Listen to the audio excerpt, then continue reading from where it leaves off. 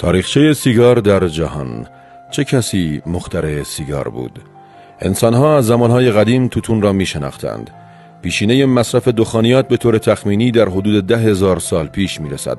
در چین و یونان باستان بر اساس نوشته های تاریخ نویسان و آثار حکاکی شده از تنباکو و توتون به عنوان گیاه دارویی یاد می شده است. در دوران باستان بومیان امریکا به خواص گیاهی تنباکو پی بردند. در کوبا بومیان برگهای گیاه توتون را در داخل نیهای استخوانی و یا در داخل نوعی چپق به نام تاباکو قرار می‌دادند که به صورت یک لوله توخالی وایمانند بود که قسمت دوشاخه آن در بینی جای می گرفت و سپس آن را می کشیدند. هرودوت مورخ مشهور یونان در این باره چنین نوشته است طایفه های سهرانشین که در جنوب کشور ما اقامت داشتند و همچنین بومیان افریقا یک نوع گیاه را می سوزاندند و دودش را می خوردند.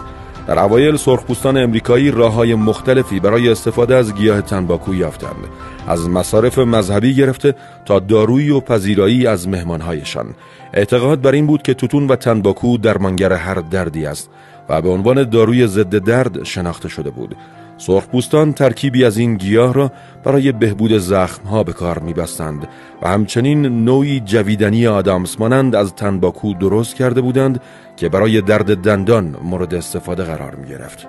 در 1588 یکی از اهالی ویرجینیا به نام توماس هاریت یک راه حل علمی برای دریافت دوز و مقدار روزانه گیاه تنباکو پیدا کرد و متاسفانه به دلیل سرطان مجاری بینی درگذشت چرا که روش ابداعی او از طریق کشیدن دود تنها به وسیله بینی عمل می کرد.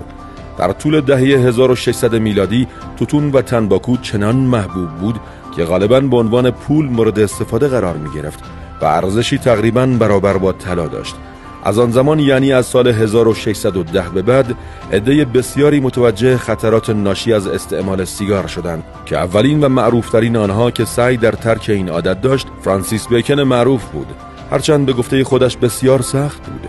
در سال 1760 شخصی به نام پیر لوریارد با ساخت یک شرکت در شهر نیویورک امریکا اقدام به ساخت تنباکو و سیگار و سیگار برگ نمود. امروزه پیر لوریارد قدیمی ترین شرکت ساخت تنباکو در امریکا است. در سال 1776 در طول جنگ های انقلابی امریکا با تبعیت از فرانسه تنباکو به عنوان وسیقه برای وام های امریکایی ها مورد استفاده قرار می گرفت.